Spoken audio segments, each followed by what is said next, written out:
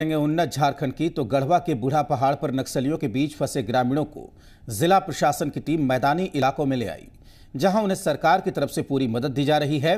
रहना खाना और दवा उपलब्ध कराया गया है और उनकी परेशानी का पूरा ख्याल रखा जा रहा है।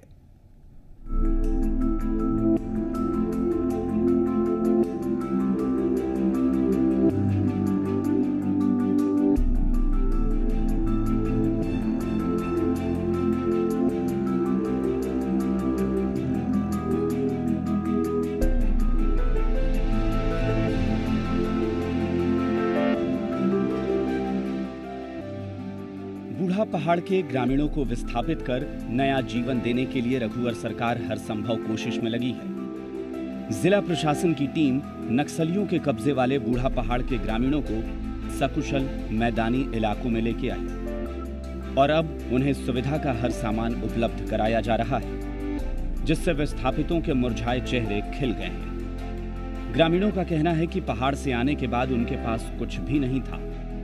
लेकिन सरकार ने उन्हें हर वो सुविधा दी जिसकी उन्हें ज़रूरत थी।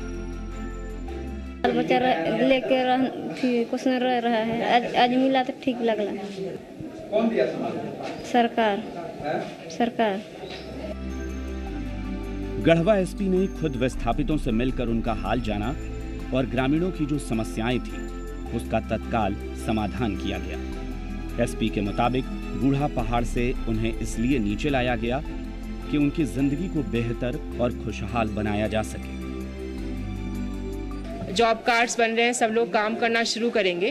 तो एक सेल्फ डिपेंडेंस जो है, वो भी बढ़ेगी, जो कि बेहतरी के लिए बहुत ज़्यादा ज़रूरी है।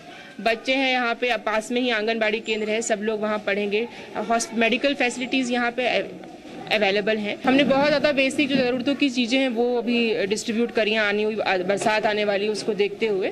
तो कुछ बेसिक चीज़ें जो हैं, वो दी गई हैं। और एक मेडिकल जाँच यहाँ पे रेगुलर ज़रूरी है, हो भी रही है, लेकिन और डायग्नोसिस जो है, हम लोग और मतलब अच्छे से हर एंगल पे डायग्नोसिस हो सके, उसके लिए यहाँ पे एक टीम जो है, गढ़वा भंडारिया से प्रशासन की तरफ़ से आई है।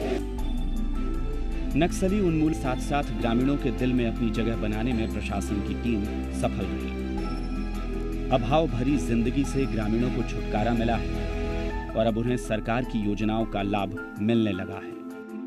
Bureau report, Zee media.